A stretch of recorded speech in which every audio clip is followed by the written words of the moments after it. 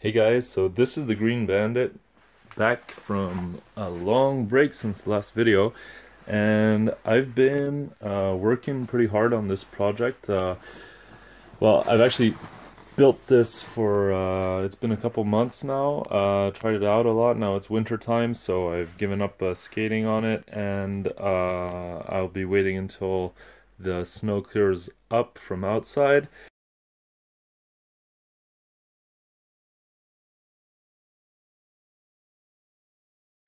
I just wanted to quickly show you what I've been doing. Uh, so uh, here's my electric skateboard. It's um, uh, something like 3.2 kilowatts.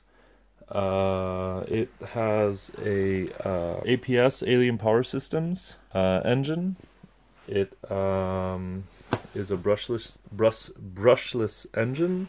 So I wired it up here under the axle through here. This is a piece of uh, plastic from a can of uh, proteins. One of these plastic cans. Here's some, I think you call it chicken wire, a net so that um, you can uh, put the uh, electronic speed controller, the ECS. Let me see if I can get it here a closer look. Um, this was produ produced by, uh, uh, I think it's Alien Power Systems 2. Uh, I bought it on their websites. You should go check it out. It's really great. It works right out of the box.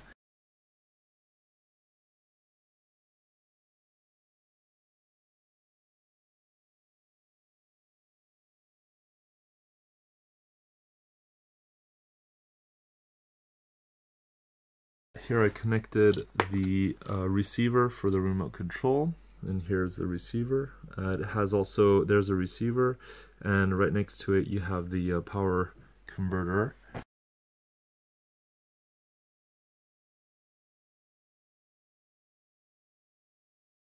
Um, here we have a uh, battery case which uh, is fitted right behind the uh, front axle I riveted, I bolted it with, uh, well, I screwed it with, uh, I didn't screw it. I uh, put six screws into it and it hasn't failed me since uh, I've been riding on it.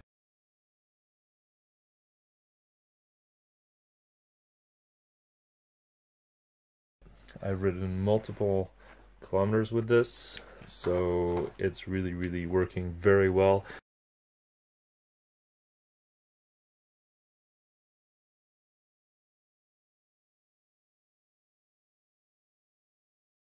Up I can go up any hill. Uh, I wear weigh about 100 kilos so it's really really pushing quite hard. I measured uh, with my GPS I'm getting about 25 to 30 kilometers per hour on a flat and about 20 to 23 uphill depending on the angle but definitely never less than 20 uh, this is a Turnigy 6S uh, 5 uh, 5000 milliamp hours, so 5 amp hours. I get about uh, half an hour ride by just pushing off when I instead of just letting it accelerate by itself. By the way, um, this thing will burn out if I press if I go full throttle. So you have to be quite careful with the trigger on this. I might look into uh, um, adjusting the curves by uh, because this you can plug in to the USB on your computer and uh, adjust how, how much power it releases.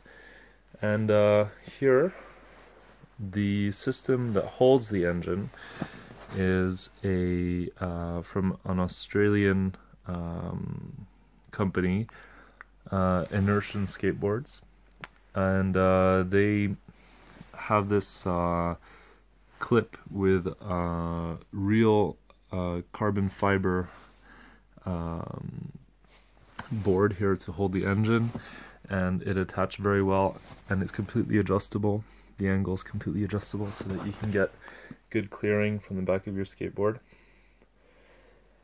and it will uh, all you need to do is just file down the axle in certain areas. So I don't know if you can see clearly here. Um, right here um, on the left side of the axle, I've filed it down a little because this um, this clip has a uh, an angle to it. Let me see if it's clear on this side maybe. Yeah, here you can see. See it's flat on this side and in order for it to hold well onto on this axle you need to flatten your axle a little bit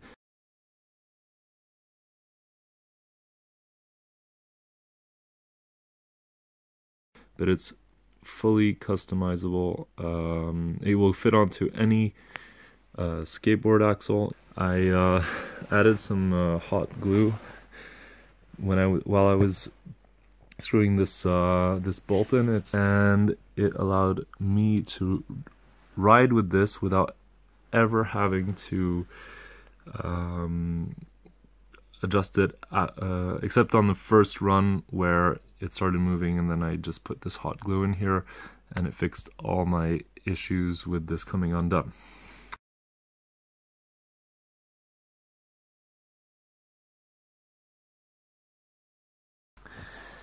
Uh, here they give you uh, some kind of washer um, in which through which you need to put these long screws they go through the wheel all the way onto the other side and into this um, gear uh, I absolutely recommend that you use one of these vertical um, drills the ones that uh, are very stable. You cannot do this by hand. I tried at first drilling by hand through this uh, through the polyurethane, and it was just impossible.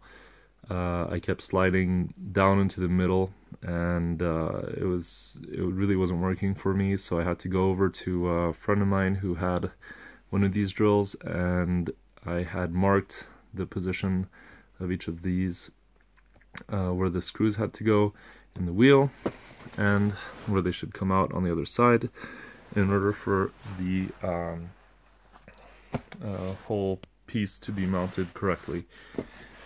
Then um, one little trick here is that I adjusted the uh, depth of the wheel because once uh, not all skateboard wheels are made equal and of the exact same dimensions and so in order to get the wheel outwards a little bit in order to have this aligned properly. Um, I put in a couple washers between the bearing and the um, and the axle itself in order for it to uh, be aligned properly with the engine gear. This gear here was um, um I heated it and then I it was actually a very very tight fit and so I had to heat it and then I, I, hammered it in and I let it cool and it hasn't moved. So this is probably the best way. It hasn't ever slipped hasn't budged and I'm very happy with it. Um, there's one thing I'm very uh, unhappy about is that I got this from uh, China on the net and it wasn't centered. So as you can see here it's off by a good millimeter which does put some extra tension on my um, on this um, belt and so it's already broken one one time when I was out in uh, the countryside skating with this and so it was uh, quite a disaster but since it just became a longboard, I could skate home again. So it really isn't a problem, even if your engine um, uh, breaks down. you just keep on rolling.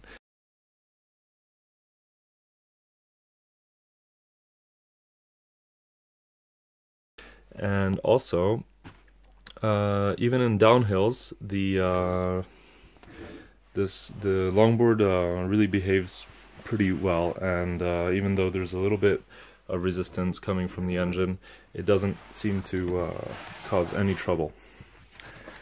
Uh, here on the side of my battery holder, I um, installed one of these battery voltage meters, which with an alarm. So when I get to the assigned voltage uh, while the battery is working. If the voltage goes under 3.5 volts it, uh, it per cell, it will um, it will start ringing, and therefore it's a good idea to stop.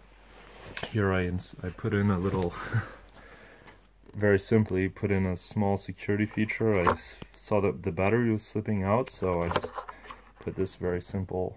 This was a very simple solution. Uh, I'll better this someday somehow, maybe with my future builds. We'll see if I continue making these. Uh, I'm pretty happy with this one. It's very solid. It's not moving. And so you just install the battery and close it. And on this side, I have a little scratch and there locks the battery in perfectly. Let me show you. Why is this not focusing? Hello. So here we go. And it goes here. Plug this in. There you go. It's checking everything.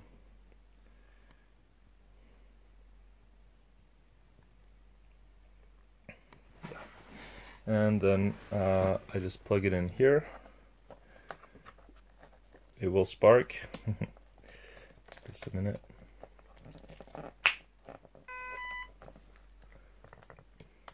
Go.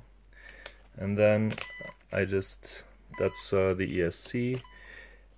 Oops, wait a minute. There we go. And then I, for security purposes, because when, when you ride this might go down onto the road this way, I have a small easy system here where once again I use scratch tape and a um, these binder cables binders and there we go. Everything is in place and nothing moves. Very simple very rudimentary uh, design but it was just to keep it simple and to and the price to the lowest possible. Also went along and bought myself a remote and this is the what I've done to this remote. I've modded it to make it rechargeable. So I opened the uh, this was uh, one of these pistol uh, grip remotes whatever you, you call them. Um, and as you can see here there's a battery uh, in the instead of the normal battery I emptied uh, one of these I have a I had an old laptop so I took out the uh, batteries from it. And following a couple guides on YouTube I made it into a um, 7.4 volt battery which uh, corresponded to the uh, voltage of the original battery pack, close close enough. And uh, so here's what I use to charge it. And when it is charging, I just I hook it up to the uh, remote itself. Wait a minute. So there we go. It's plugged in, and I just turn the remote on very simple. Painted it blue, put some uh, tennis racket grip on there, and as you can see, watch this. As soon as I press, and I guarantee I'm 100 kilos. Uh, I have no idea what that is in pounds, but I can probably figure that out. I'll write it and this thing burns out under me. So it has so much power. I would recommend maybe a bit of a smaller engine if you're a little lighter than me but this was really to carry me up and down any hill. And it will go down any hill that you want at basically a little less than the speed you would get to if you were going down without an engine but it works great and it's super reliable and I'm very happy with this product. I will post the um, the links to the products I, I used here uh, in the description. And uh, yeah, I hope you uh, enjoyed this video and uh, that it showed you how to make an electric skateboard. Watch this. That's not working. Wait a minute. Let's see.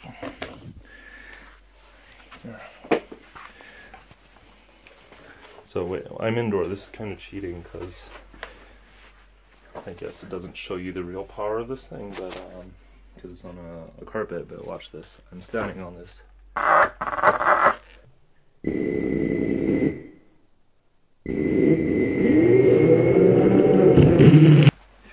Okay. Watch this. Here's a little demo. And I like how that little light from the uh, from the uh, yeah like the um, voltage converter uh, shines blue and it kind of looks like it's a uh, pipped out ride. And I've ridden this at night, so it's actually looks very cool. Uh, definite, definitely a head turner. People are always impressed to see uh, a longboarder going uphill at uh, 30 kilometers per hour. Um, I think 30 kilometers per hour is about a little less than 20 miles an hour, 15, 20. So yeah, I think it's a reasonable speed for a skateboard. You don't want to be going much faster anyways. So yeah, hope you enjoyed the vid. And I'll see you later, guys.